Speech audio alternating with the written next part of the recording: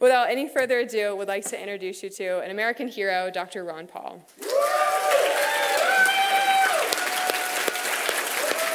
Hello there. Thank you. Thank you. Thank you very much.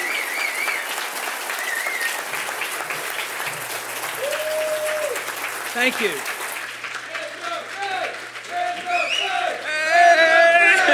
you.